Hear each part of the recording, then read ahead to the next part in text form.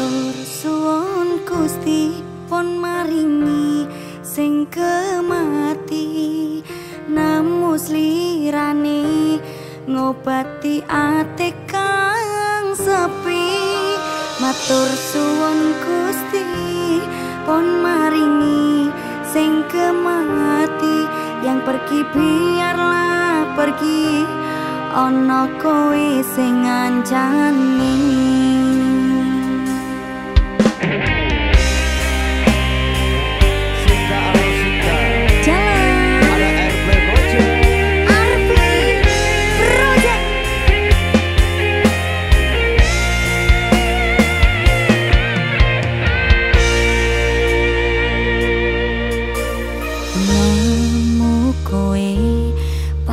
mati ambiar ambiare.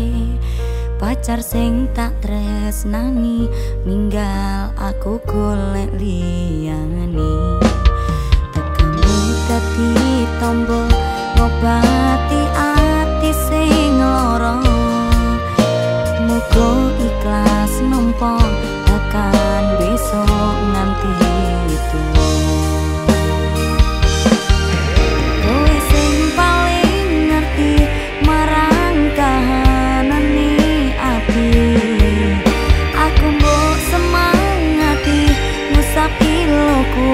say